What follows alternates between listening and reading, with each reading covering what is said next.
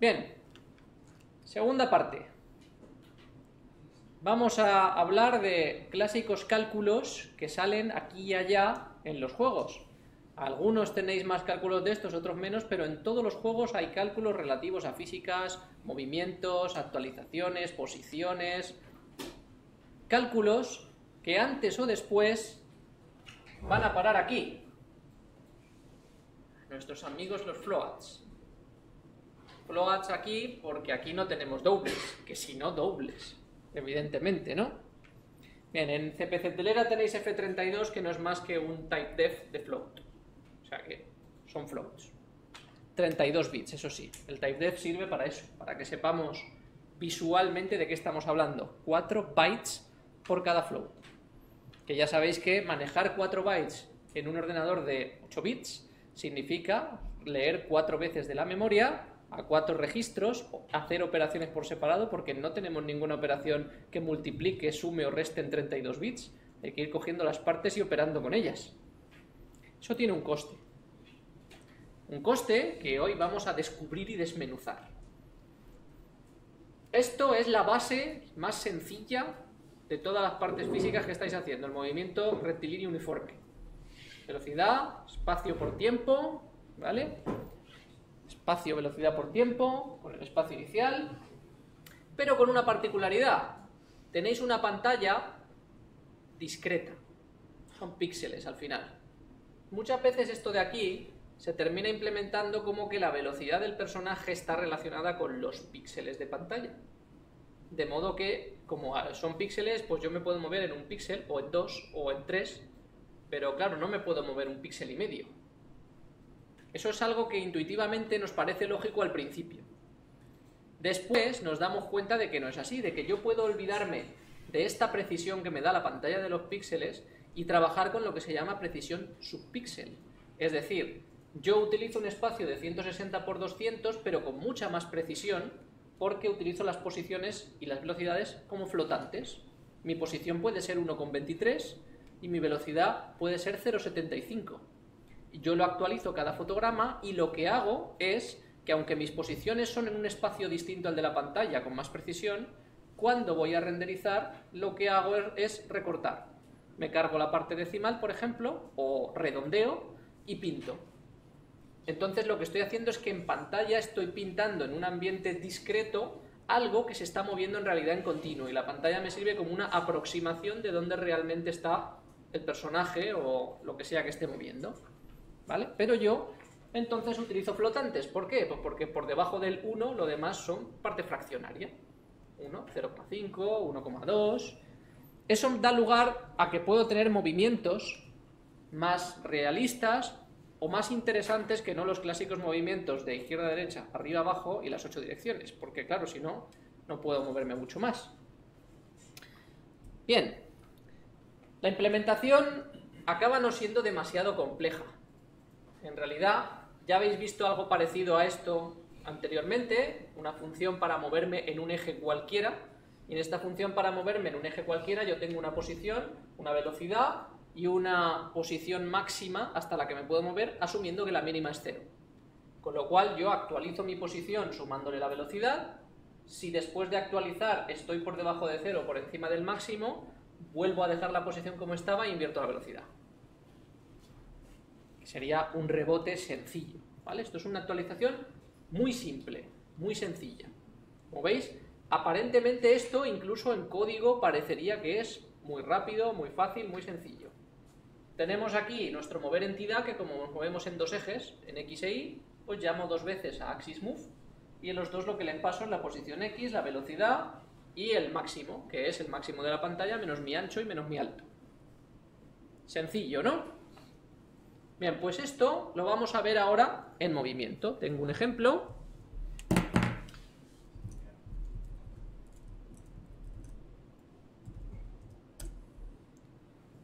Y como siempre, si el emulador quiere, ¿vale?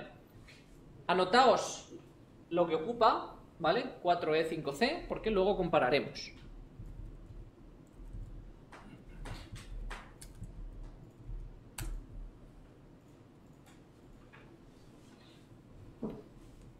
A ver si el emulador quiere y vamos no solo a verlo, sino a analizarlo un poquito. Vamos a trastear un poco las entrañas de este ejemplo, a ver qué le pasa. ¿Qué es lo que realmente sucede con tanta simplicidad? ¿no? El emulador va. Impresionante. Bien, tenemos un cuadradito que se mueve y en este ejemplo yo con teclas puedo acelerarlo, por ejemplo. Para arriba. Y entonces puedo moverlo desde 0 hasta más 6 y menos 6 de velocidad en cualquier eje. Lo cual da un movimiento que, como veis, no parece que se mueva siquiera en píxeles. veréis que dejan una especie de rastro, pero eso no es por el CPC, es por la emulación. ¿Vale? Pero ya veis que el movimiento es muy libre, aparentemente muy rápido también, muy suave. Bien, esto vamos a echarle un vistazo al código y después volvemos a la ejecución. El código no es mucho más complejo que lo que habéis visto ya. La parte principal es justo lo que hemos visto en la transparencia. ¿Vale? Veréis que ahí tengo definidas las constantes globales.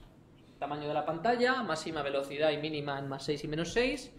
Tengo una estructura donde para cada entidad guardo xy, velocidad xy, y como veis las dos son flotantes, el ancho y el alto, el color y dos punteros a la memoria.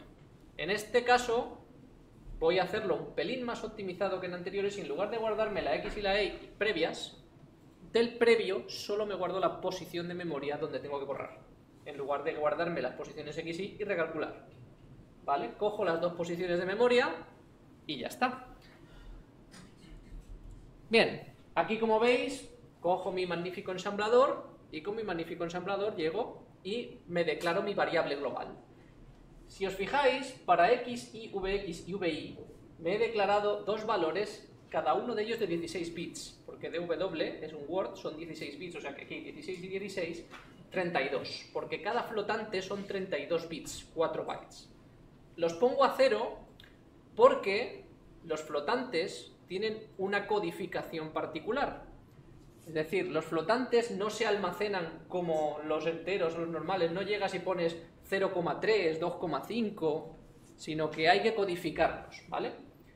Bien, eh, si alguno tiene curiosidad, la codificación estándar es la IE Cubo 754, me queda escalofríos, ¿verdad? Aunque tengo que deciros que ya lo hemos comprobado, que el compilador SDCC no utiliza el estándar, sino que es ligeramente modificado. Se parece, pero no es igual. Con lo cual, leéis el estándar, venís a poner un número en flotante y, oh, magia, no podéis.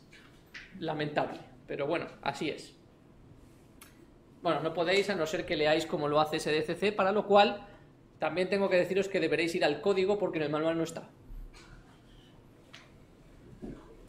Bien, tengo la función AxisMove que tiene además dos implementaciones. Aquí hay una que está comentada, que después la veremos, ¿vale? Y esta es la que ya habéis visto antes, ¿vale? La operación de suma, tan normal, la actualización. Y aquí veréis que tengo una función, que es lo que he optimizado hace un momento, de actualizar los punteros. Lo que hago con mi entidad es que cada vez que voy a pintarla de nuevo, me guardo en PUMM1 el anterior PVM, es decir, el puntero de donde estaba pintando yo mi entidad antes, me lo guardo ahora para borrar y calculo el nuevo. ¿Vale? Así que en cada iteración solamente lo calculo una vez y lo calculo fuera del bucle de dibujado. Esto me lo he llevado a la parte de cálculo. Aquí, redibujar, como veis, lo he unificado y tengo una función redibujar que lo borra en, el anterior PVM y dibuja en el nuevo PVM, tal cual. ¿vale? Solo se le pasan los parámetros y dibuja. Cambiar la velocidad por el usuario es leer el teclado y según la tecla que se pulsa, sumar en un eje o restar 0,05 en flotante directamente, una cantidad, de modo que yo puedo cambiar la velocidad con el teclado cómodamente. La inicialización, muy simple, deshabilitar y mode 0, y aquí tengo el inicializar entidad, en el cual meto los valores iniciales de mis flotantes que no he podido poner a mano en binario porque no sé cómo se codifica. Si quisiéramos hacerlo bien, ¿vale? Esto lo he hecho así, pero si quisiéramos hacerlo bien, lo que podemos hacer es muy sencillo. Depuramos, venimos aquí, miramos qué valores nos mete en memoria estas instrucciones y la próxima vez los copiamos y los ponemos tal cual en nuestra inicialización en binario y podemos deshacernos de esta función. De momento lo he hecho para que veáis el problema que hay con los flotantes, pero es muy sencillo. Es decir, uno se viene aquí y dice, quiero poner un 1.0 y un 0, pues me vengo aquí, miro a ver cómo lo mete en memoria y cuando vea lo que él ha metido, copio y pego y me lo pongo en mi inicialización.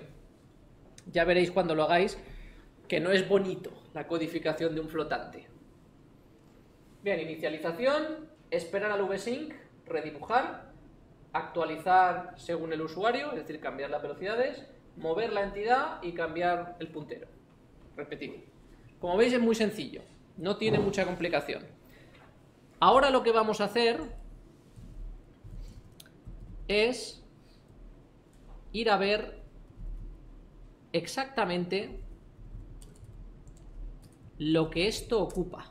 Main está en 4.3fc, así es que vamos a analizar un poquito cuánto nos ocupa esto, pero no de espacio, sino de tiempo.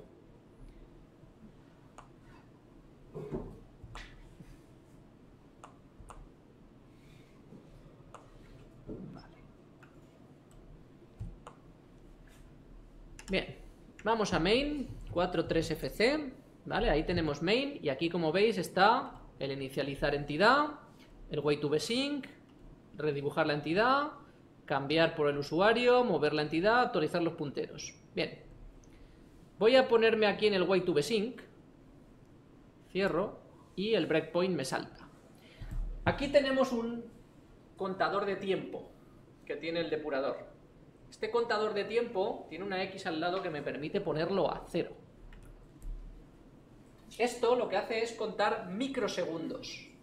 Si yo ahora cierro el depurador, cuando me vuelva a saltar el breakpoint, me contará aquí cuántos microsegundos han, pasado desde que yo estaba en esta posición.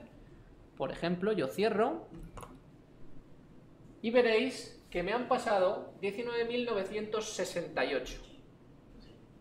19.968 es un número particular que incluso deberíais saberos de memoria, es 312 por 64. No es que yo sea un hacha dividiendo, ¿vale? Que también, modestamente, pero esto es que el Amstrad CPC dibuja 312 scan lines y tarda 64 microsegundos por cada scan line, lo cual da un total de 19.968 que es casi 0,02 o lo que es lo mismo un cincuentavo de segundo. Es un poquito menos de un cincuentavo de segundo porque el Amstrad no va a 50 hercios, exactamente va a 50, algo, ¿vale? Y ese coma algo es este piquito que falta para llegar a 0,02. ¿Vale? ¿Esto qué es? Lógico. ¿Por qué ha pasado esto? Porque ha dado la vuelta a todo el bucle y aquí tengo un way to vsync que lo que ha hecho es volver a parar cuando ha detectado el vsync. Ha ido desde vsync hasta vsync todo un ciclo completo y como por en medio yo no me he pasado del vsync, ha vuelto justo cuando ha hecho las 312 scanlines completas y 64. Por eso me ha dado ese valor. Bien, ya sabemos que tarda esto, pero ahora vamos a lo que nos interesa. Lo que nos interesa es cuánto tarda cada parte, porque esto está funcionando a 50 fotogramas. Genial, ¿no? Los floats van bien, guay. Vamos a ver. Yo si pongo esto a cero y le doy al F8, el F8 va a saltar el Y2Sync y vemos que el Y2Sync tarda 3498. Esto, en teoría, que podría parecer bueno, eh, no parece que tarde mucho. Cuando VSync tarda poco, no es que VSync es rápido, es que lo hemos llamado muy cerca del VSync. Si yo hago pocos cálculos y llamo VSync, VSync tardará un montón porque hasta que llegue el VSync pasará mucho tiempo. Si yo hago muchos cálculos y llamo VSync, pasará poquito y eso es lo que me sobra de todos los cálculos de los 19.968 que tengo. Esto es lo que me sobra después de mover un cuadradito y pintarlo. Como veis, no sobra mucho, lo cual ya de por sí nos está diciendo esto no es tan rápido como parecía. ¿vale? De 19.000 me estoy comiendo 15.500 en todo lo que estoy haciendo. Ahora vamos a ver quién se lo lleva y cómo. Yo avanzo aquí y tengo el, redibujar entidad que la borra y la redibuja. ¿Vale? Borrar y redibujar mi entidad, ¿cuánto tarda? 3368. ¿Vale? Estamos hablando de que tarda un sexto del fotograma. Podría hacer esto seis veces por fotograma y todavía llegaría a tiempo de ir a 50 fotogramas por segundo. No es especialmente maravilloso, pero tampoco es muy lento. Vamos a ver, aquí tenemos la pulsación del teclado del usuario, que ahora mismo no hay ninguna tecla pulsada, con lo cual lo único que hará será escanear el teclado y pasar por todos los ifs, yéndose por el no. ¿Esto cuánto tarda? 396 microsegundos. Una décima parte de lo que tardamos en dibujar. ¿Vale? O sea que en dibujar invertimos, no llega a 10, 9 veces lo que estamos invirtiendo en escanear el teclado. Vamos a lo que mola, mover la entidad. Mover la entidad es la situación donde están nuestros primeros cálculos flotantes. Y os recuerdo que nuestros primeros cálculos flotantes son... A ver si me deja mostrarlo porque creo que se ha puesto en primer plano. Hacemos un apaño. Me deja. Nuestros primeros cálculos flotantes es esto. Que esto, ahora mismo que nuestra cajita está por en medio de la pantalla, es hacer esta suma, comprobar esta condición y ver que es falsa y salir. Solo vamos a hacer estas dos cosas. Sumar, comprobar y salir. Eso sí, lo vamos a hacer dos veces, una por cada eje. ¿Vale? Dos veces, una por cada eje, sumamos la velocidad a la posición comprobamos que no es menor que cero ni mayor que máximo y nos vamos. ¿Sí? Bueno, pues vamos a ver cuánto tarda eso.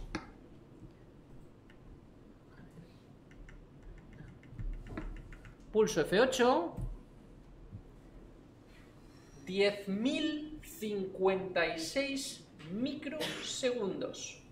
Que si lo dividís es la tontería de 10 milisegundos. Hacer dos sumas y cuatro comprobaciones con los calls por en medio. Esto es lo que tardan nuestros maravillosos flotantes. ¿Qué tal? ¿Cómo se os queda el cuerpo?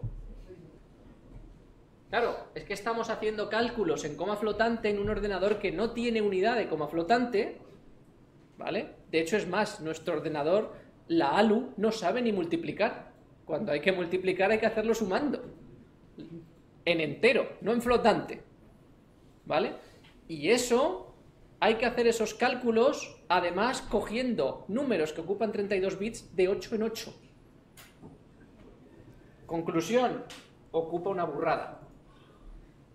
Y parecía que era rápido, claro, era rápido porque solo mueve un cuadrado. En cuanto mueva dos, ya no cabe en un fotograma. ¿Vale? y no por dibujarlos. Bien, esto es lo que nos ha tardado la parte de mover. Tenemos una parte de actualizar punteros, que vamos a ver cuánto tarda. Porque la parte de actualizar punteros que parece inofensiva tarda 2617. Y parece inofensiva, digo, porque claro, solo estoy copiando un puntero y calculando el otro. Y técnicamente la función de CPC telera está muy optimizada. De hecho, si vais a mirar, la función de CPC telera que calcula el puntero no tarda 2000. Tarda, si no mal recuerdo, 47. ¿Qué es lo que se come todo esto? Aquí hay algo misterioso, ¿verdad? Vamos a poner un breakpoint aquí, porque vais a aprender alguna cosilla más. En la función de actualizar punteros, yo voy bajando, no me voy a preocupar un poco de lo que hace el código, pero veréis que hay una llamada, aquí misteriosa, fs to uchar. ¿Qué puede significar fs to uchar?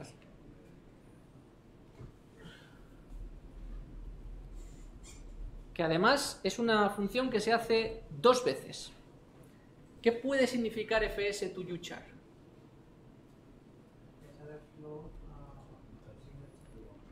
Estamos haciendo el casting de flotante a entero de 8 bits. Porque es lo que la función de CPC telera quiere, una posición de pantalla de 8 bits. Y tenemos un flotante. Y hay que quitarle la parte decimal y pasarlo a entero. Bien, pues fijaos. Voy a hacer una llamada a fs to char y voy a ver cuánto tarda.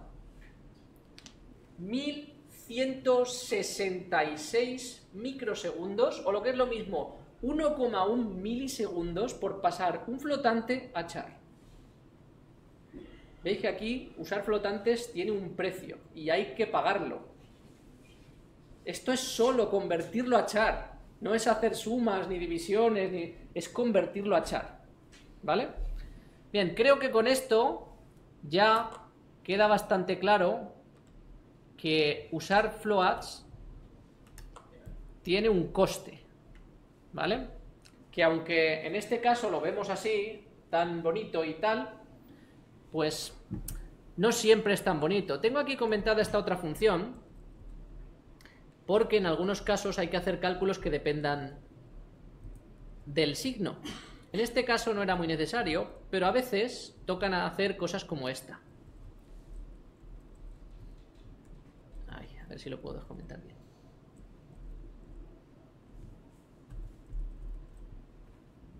A veces, dependiendo de cómo estemos haciendo las cosas, toca hacer cosas como si voy moviéndome en positivo hago una comparación, si voy moviéndome en negativo hago otra, porque las comparaciones cambian, ¿vale?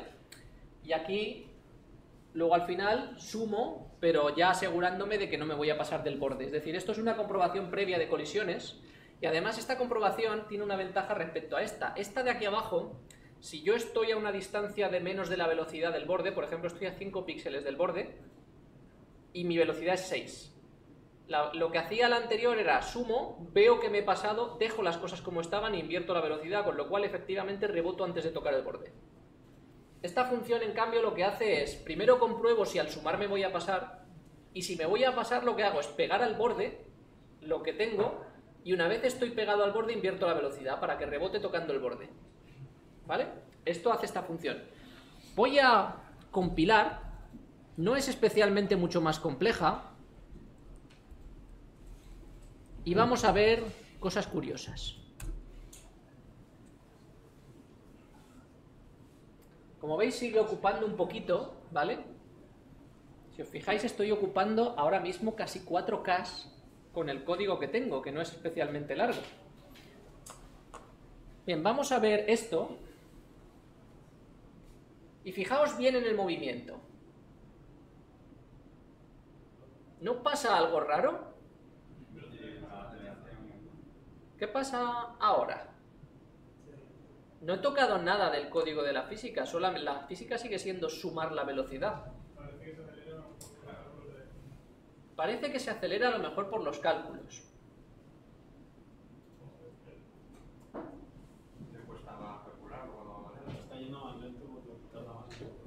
Vamos a hacer una prueba, ¿vale? Voy a ver la zona que va rápida, que es la zona de subida.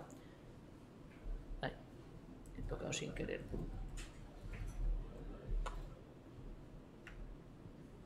Ahora va lento, ahora rebota y va rápido, lo paro. Y vamos a hacer lo que hemos hecho antes, que es irme al main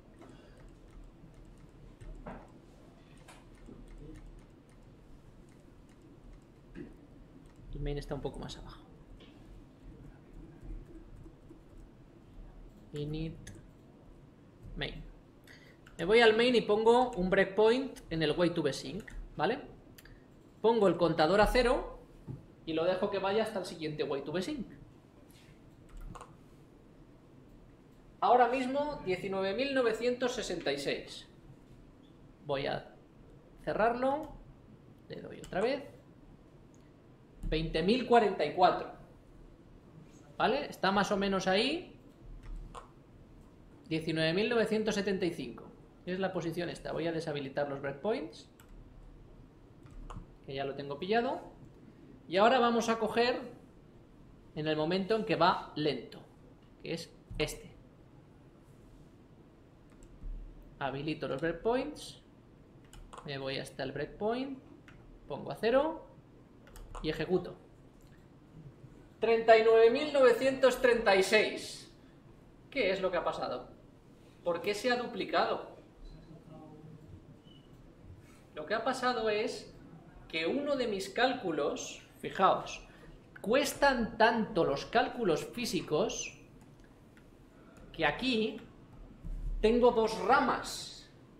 Cuando voy por una rama, hago un poquito más de cálculo que por la otra y ese poquito, como en flotantes cuesta un huevo, hace que mis cálculos tarden más de 19.968. De modo que cuando llamo a way to ya he pasado un vsync y espero al siguiente. Y estoy tardando dos fotogramas porque me he saltado el primer way to mis cálculos han tardado más. Mientras que cuando voy por la otra rama, tardo unos 19, 16.000 y algo, y cuando llamo, vuelvo a los 19.000. ¿Os fijáis? En uno me paso y eso hace que vaya el doble de lento por mi way to porque me he pasado el ovesync. Y es tan sencillo como que coge una rama o coge otra. Porque, claro, si cada una de estas comprobaciones me puede estar costando 4 o 5 mil microsegundos, una más hace que pase de 15.000 a 20.000 y me salte un VSync. Así es que creo que esto es suficiente para aprender sobre floats, ¿verdad? ya tenemos un conocimiento del coste de los floats. Conclusión, floats no, gracias. ¿No? Bien, pero si no tenemos floats, necesitaremos algo. Si no tenemos floats, ¿cómo implementamos esto con precisión subpíxel? ¿Cómo lo hacemos para decir, no, no, yo es que quiero seguir teniendo movimientos más o menos libres, pero no voy a usar floats, evidentemente. Entonces, ¿ahora qué hago? ¿Vuelvo a mí y me muevo un píxel? ¿O cuando quiera medio píxel le muevo uno cada dos veces? No voy a meterme en una lógica chunga para poder hacer eso. Pues para eso tenemos una cosa que se llama aritmética de coma fija. Porque los floats es coma flotante, de ahí viene su nombre. Porque tienen una precisión variable. En realidad los floats lo que permiten es tener una precisión muy grande cercana al 0, entre 0 y 1, y conforme nos alejamos del 0 tienen cada vez menos precisión. Que eso está pensado así porque siempre se han utilizado para cálculo científico, y en el cálculo científico la precisión entre 0 y 1 es mucho más relevante que la precisión arbitraria. Mientras que, claro, la coma fija sería lo contrario, es decir, tener una precisión que es coger nuestra recta y dividirla en cachos iguales del mismo modo que lo hacemos con los enteros, 1, 2, pero con una precisión más pequeña. Eso sería coma fija. No es precisión variable, es precisión constante. Esa es la diferencia. Coma fija.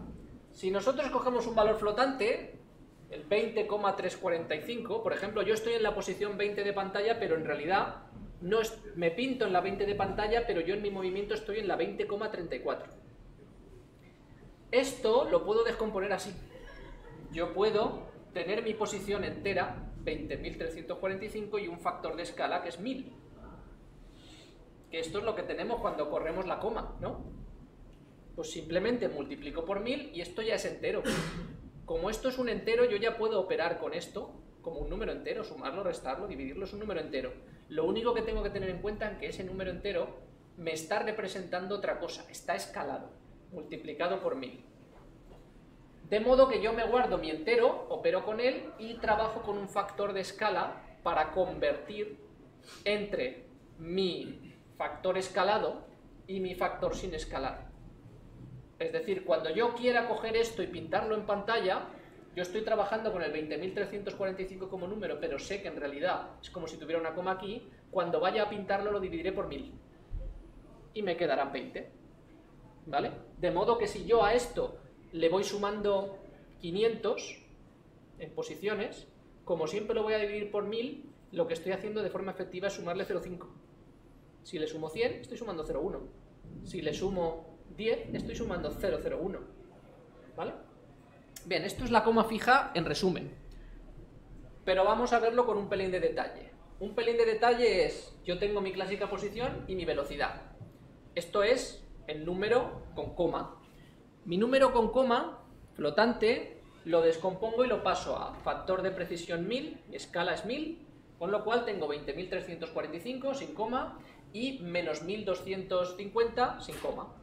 Estos ya se pueden sumar. Si yo esto lo sumo, puedo actualizar mi posición. Sumo x más vx, el 20.345 menos 1200 es 19.095, que básicamente ese 19.095 cuando yo lo vaya a pintar en pantalla, lo único que hago es pintar x partido por s.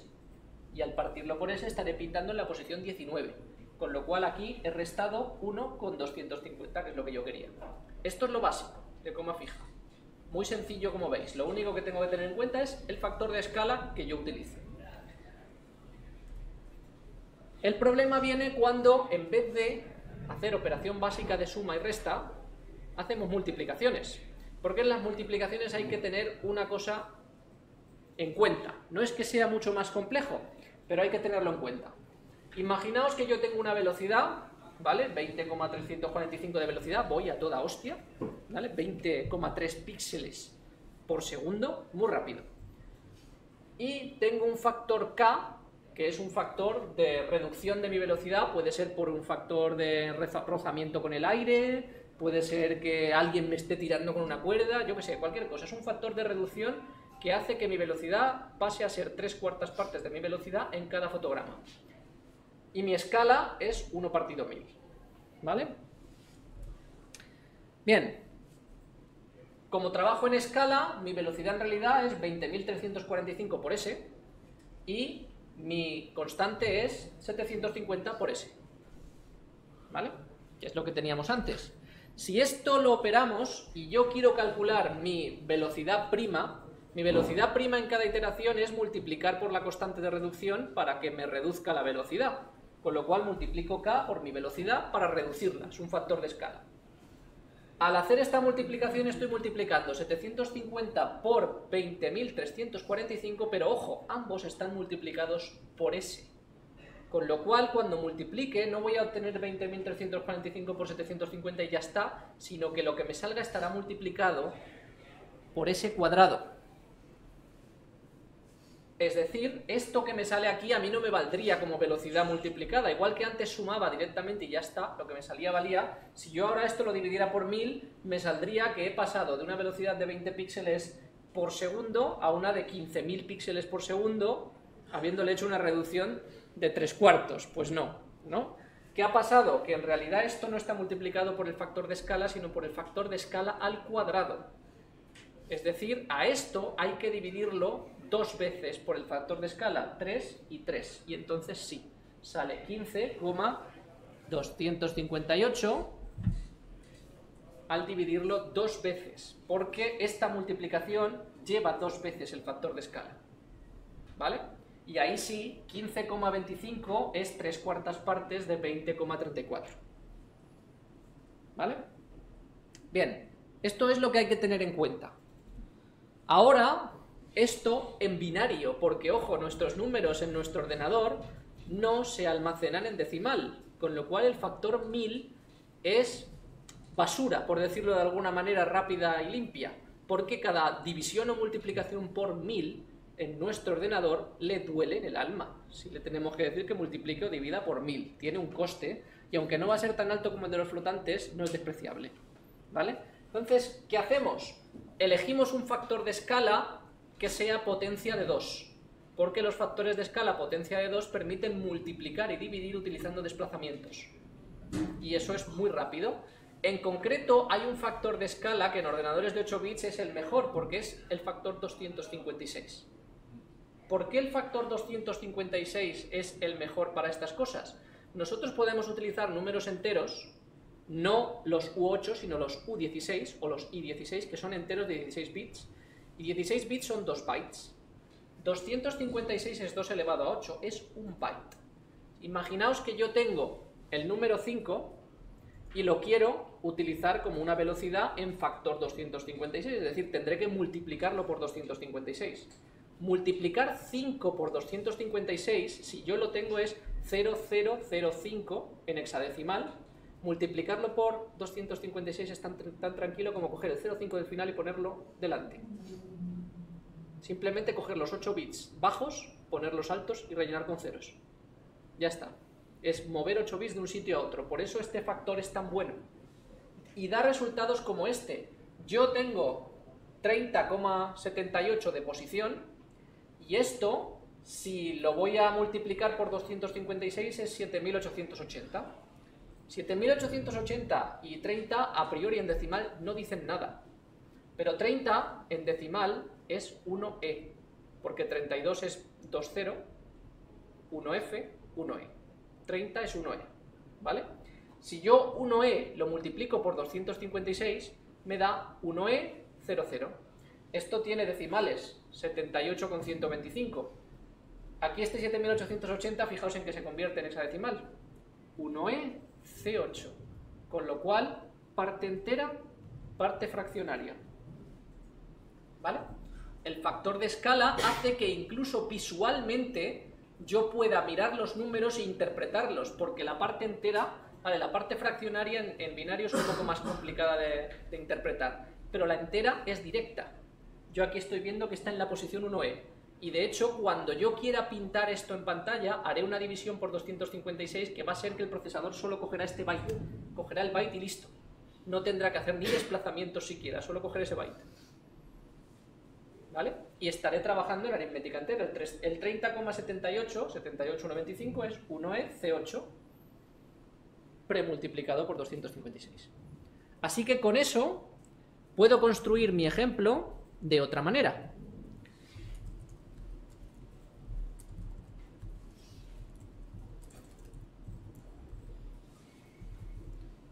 el mismo ejemplo de antes, con el mismo código, ¿vale? Pero hecho en lugar de floats utilizando i16, enteros con signo, ¿vale? Estos enteros con signo, ahora como no son flotantes, me es más fácil poner aquí directamente lo que valen. Si os fijáis, yo directamente quiero posición 0, 0 y le pongo la multiplicación por la escala para que quede indicado que si aquí pusiera la posición 10, 10, pues 10, 10 por la escala. La escala la tengo definida arriba, que veréis que es 256, ¿vale? Y aquí la velocidad 1, 1. Velocidad 1x, 1y, 1 por escala, 1 por escala. Ya tengo la velocidad. ¿Vale? Y aquí lo mismo. Ancho alto, color y las posiciones iniciales de los punteros. Mi función de movimiento, como veis, es la misma de antes, solo que ahora utilizando valores i16. No he tenido ni que cambiar el código. ¿Por qué? Porque los valores cuando ya están premultiplicados se manejan igual, se suman, restan. Lo único que hay que tener cuidado es cuando se multiplican. ¿Vale? Mover entidad, exactamente igual que antes, solo que ahora los valores son de 16, el máximo lo paso a entero sin signo. Aquí tengo la actualización de los punteros, exactamente igual que antes, no cambia nada. El redibujar entidad no cambia nada, a esta solo le he puesto el borde negro. Y lo que cambia aquí es cuando pulso teclas, en vez de sumar 0,05, lo que estoy sumando es 8. 8, en realidad, si lo pensáis desde el punto de vista binario, por decir algo, si sumo 8 32 veces, sumo 256, con lo cual es un, un 32 avo. Antes 0,05 era un 20 avo.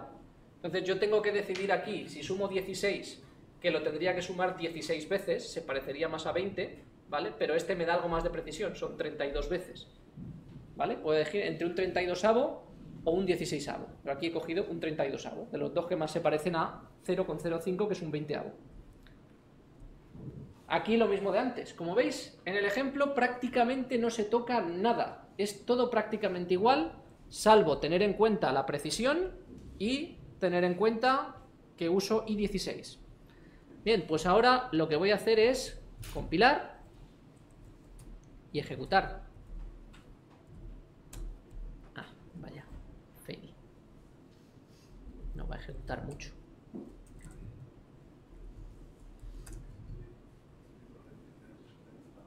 Y vamos a ver qué tal va esto ahora.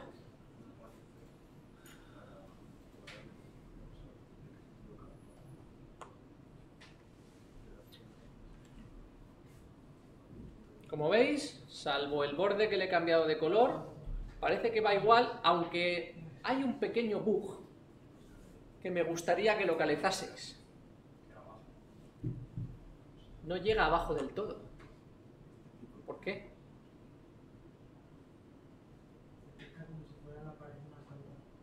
¿Por qué? No le cabe el límite.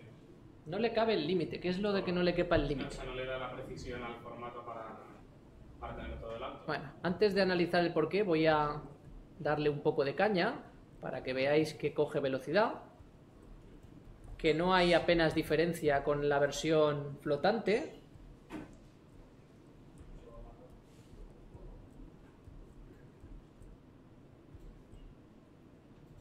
Frenar.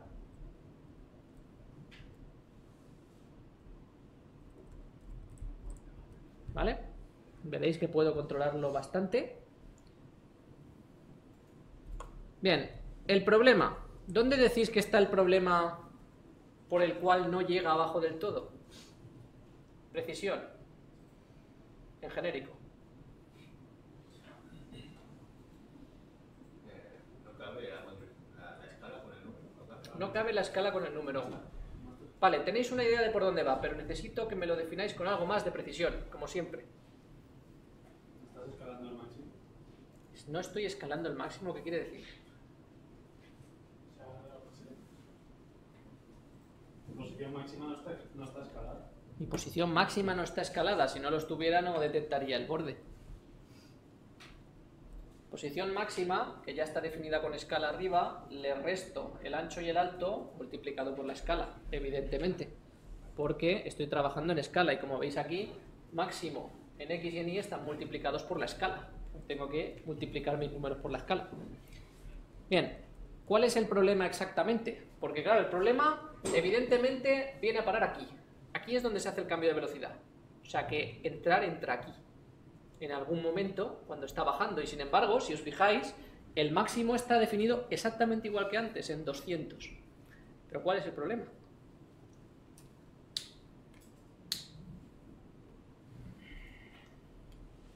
¿Cuántos bits estoy utilizando como precisión de movimiento?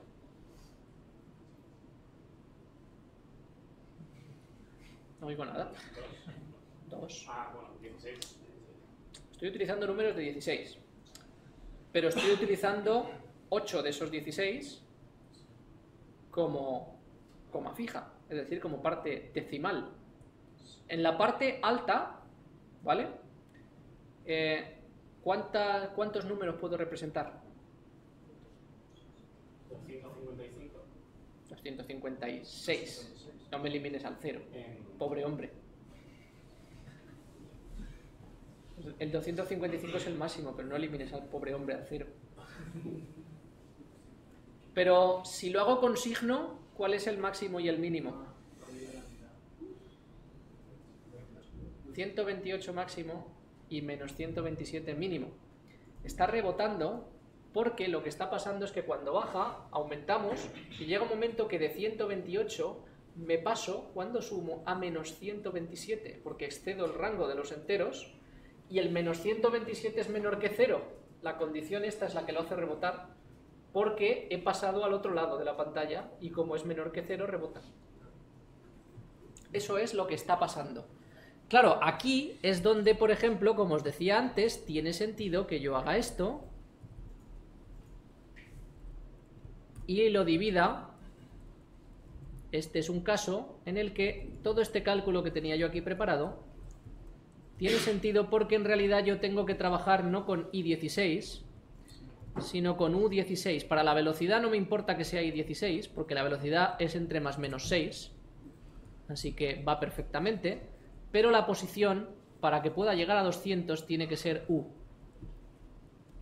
¿Vale? Si hago este cambio, si no me falta nada por hacer, que no estoy muy seguro de si me falta algo, esto debería de permitir que ahora sí funcione. Pero ojo, este es el cálculo costoso. Ahora veremos cuánto cuesta.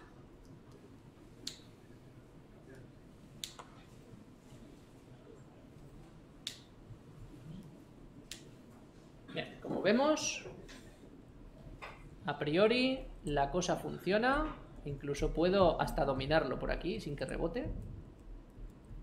Puedo mover y queda un movimiento raruno. ¿Vale? Puedo hacer que vaya despacito. Muy guay. Primera cosa. ¿Os habéis fijado lo que ocupa esto? ¿Cuánto ocupaba el otro? 4, 4, 0,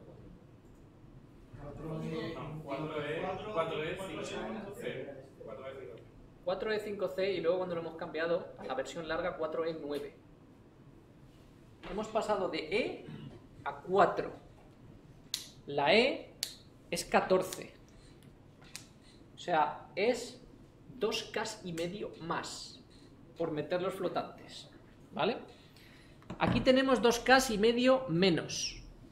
Ahora vamos a ir al main y vamos a hacer el, análisis de cuánto tiempo tarda cada parte. Es lo que hemos hecho antes. Y así podremos comparar. ¿Vale?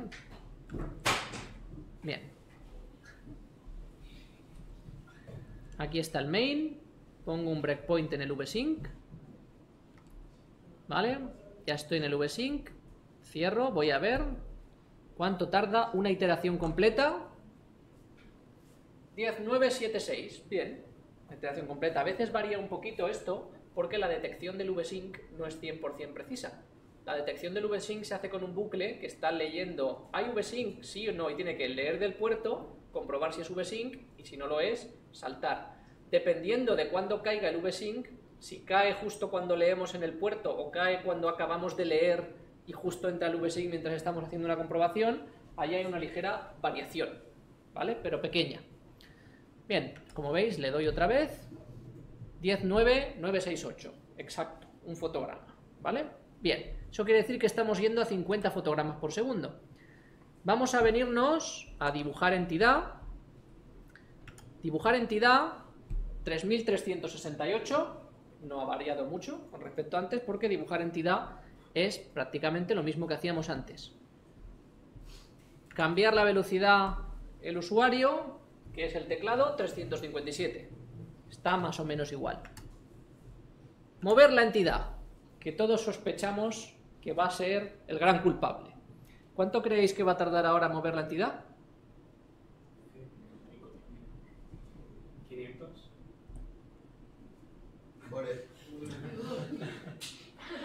515. Muy bien. No está mal. En el precio, en el precio justo te habías llevado el premio. 515. O sea, hemos pasado de un cálculo que tardaba 10.000. Ojo, 10.000 la versión rápida, que aquí estamos usando la lenta. La versión lenta, no la hemos probado antes, pero ya os lo digo yo, la versión lenta tardaba 12.000. 12.000 cuando va en el lado rápido. Cuando va en el lado lento tarda más. 515. O sea, creo que la optimización merece la pena el esfuerzo, ¿verdad? Hemos entendido lo que cuesta la coma fija en un ordenador, la coma fija y la coma flotante en un ordenador que no está preparado para ello, pero no solo hemos ganado ahí. Actualizar los punteros, ¿cuánto costaba antes? 3.000 y algo, ¿no?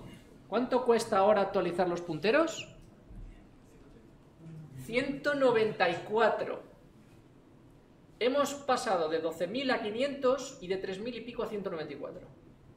Es decir, con este cambio, que fijáis que el código es casi igual, salvo el factor de escala y dos detalles, el código es igual, lo que acabamos de hacer es aumentar nuestra capacidad de poner un sprite a la capacidad que tenemos ahora de poner 8 por el mismo precio. ¿Cómo lo veis? ¿Bien?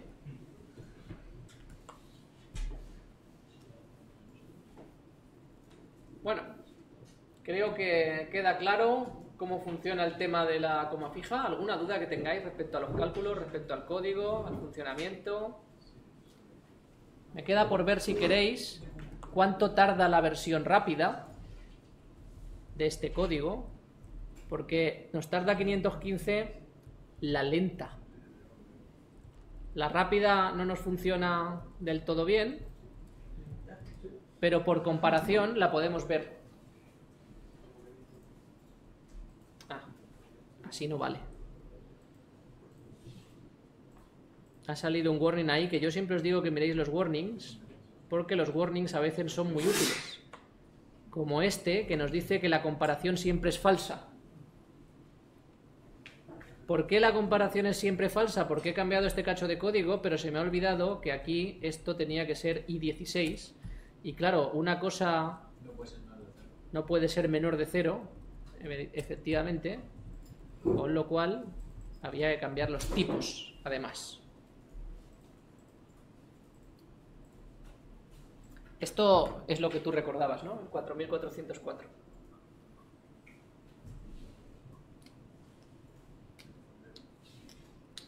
Bien, vamos a ver lo que nos tarda ahora. Vamos al main. Ponemos el breakpoint. Y nos vamos directamente a por el move entity. Move entity. La versión rápida tarda 411 comparado con los 10.000 que tardaba la otra. Y ojo, fijaos que el cambio de una versión a otra no es despreciable. O sea, aquí tenemos 400 y pasamos a 500. Eso es un 25% más. No es ninguna tontería. Y lo que pasa es que la versión rápida no nos sirve. ¿Vale? Si quisiéramos llegar a estas cifras y hacerlo bien, nos tendríamos que bajar a ensamblador tranquilamente y decir, bueno, esto que tengo implementado, que son cuatro sumas, lo optimizo en ensamblador y probablemente con la versión lenta lo pueda dejar incluso en 300, tranquilamente.